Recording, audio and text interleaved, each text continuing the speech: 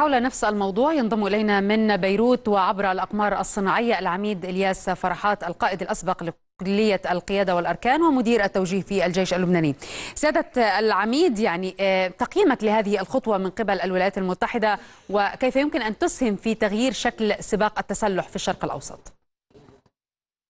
يعني فعلا أحدث قرار روسيا بتزويد سوريا صواريخ أس 300 صدمة في الأوساط الإسرائيلية والأمريكية إذ أن العلاقات الروسية الإسرائيلية كانت طيبة جدا ولا أحد يتوقع مثل هذا القرار.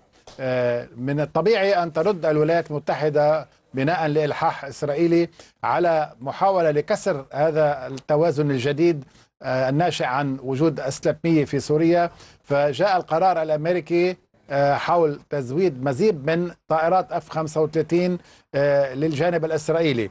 وغالب الظن أن هذه المجموعة الجديدة التي سوف تصل إلى إسرائيل هي مجموعة متقدمة عن مجموعة الطائرات التي استلمتها إسرائيل سابقا وحلقت في شرق المتوسط وفي الأجواء اللبنانية فيها.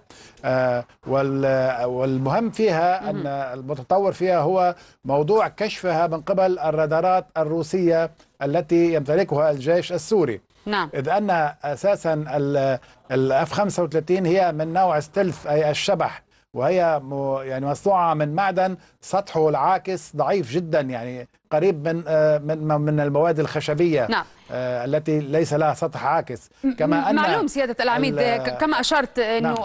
إسرائيل بالفعل أبدت انزعاجها من الصفقة الروسية إلى سوريا وبالتالي أوعزت إلى الولايات المتحدة بهذا الإجراء هل تعتقد برأيك أن هذا أيضا يمثل ضوء أخضر من قبل واشنطن لإسرائيل لتوجيه أي ضربة عسكرية في الأراضي السورية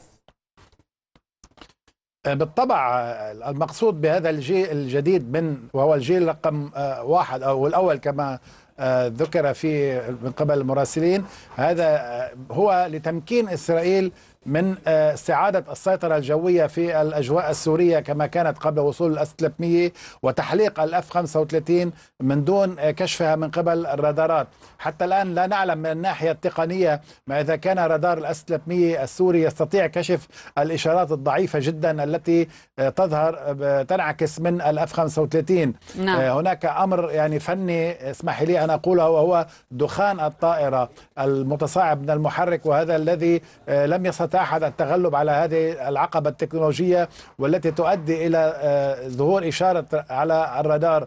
أما كيف يتم ملاحقتها راداريا من قبل رادار قيادة النيران الذي يستعمله تستعمله منظومة الصواريخ اس 300 لا نزال حتى الآن لم نرى تجربة نعم. عملية وقد نراها في القريب العاجل نعم إذا سيادة العميد إلياس فرحات القائد الأسبق لكلية القيادة والأركان ومدير التوجيه في الجيش اللبناني شكرا جزيلا لك